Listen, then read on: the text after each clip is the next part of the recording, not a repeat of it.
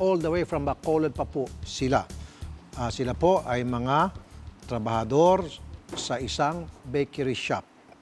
Magandang tanghali po sa inyo, Ma'am Venus Magandang- Bacos? Bacos. Bacos po. Magandang At tanghali po, magandang sir. tanghali. Sampu ng inyong mga kasamahan. Ten po kayo. Eleven po kayo lahat. Opo, sir. Right. Galing pa po kayo ng Bacolod. Opo. Anong pangalan po nung inyo pong ah, bakery? Arby's Bake Shop po, sir. Arbis. Opo. Ang pagkakaalam ko, maraming branches to, ano? Opo. Ilan Diba- pong branch ito Sa sa... Bacolod po, sir, mga 12 at saka sa Cebu 12 rin po. Bali, 24 na branches po. Okay. Gusto ko lang malaman kung ilan po kayo mga trabahador sa branch ninyo. Ah, Saan branch po kayo exact? Sa La Carlota City po, bali apat po kami ng shift by shift, bali AM at saka PM isa-isa po. Ilan lahat yan? Apat lang po kami. Hindi, ilan lahat-lahat na kung mag, sa palitan ng shift?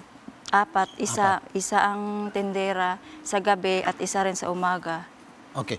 Pero dahil 12 branches to, so more than 10 yung empleyado lahat-lahat.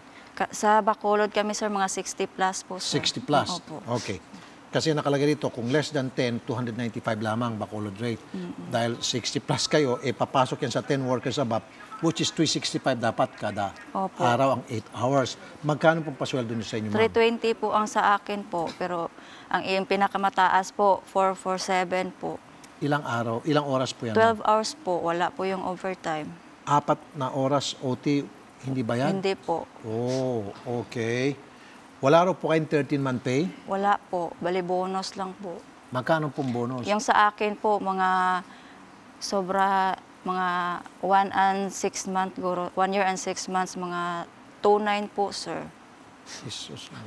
Ang 13-month pay po, isang buwang sweldo. Oh, pero wala Sa po kami, minimum. wala po kami noon. Walang ganon. Mm. Wala po Lahat kami po mga, kayo? wala po kami mga benepisyo.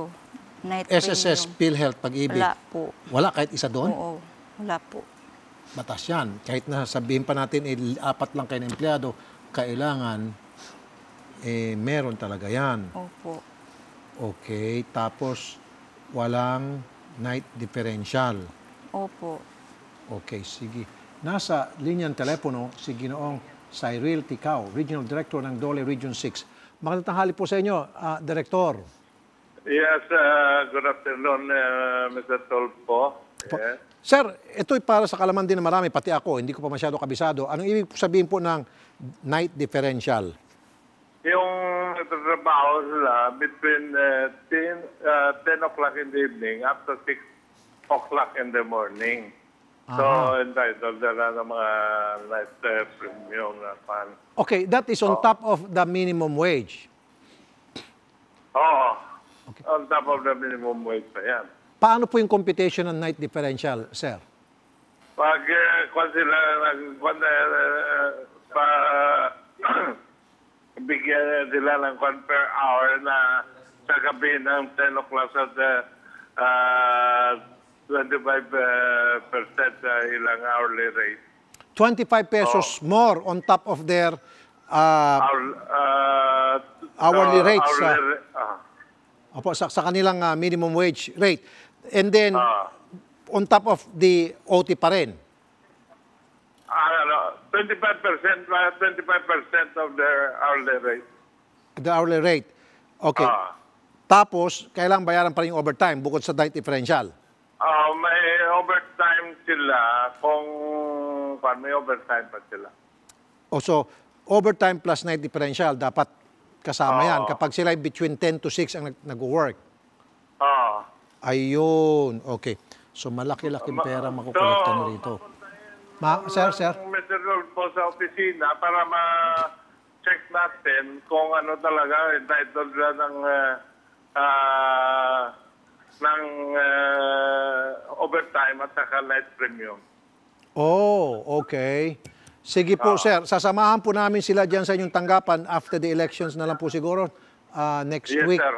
Diyan po sa inyong tanggapan. Yeah. Patawag niyo po itong bakery shop at doon na lang po magkabayaran sa inyong pong tanggapan, Direktor.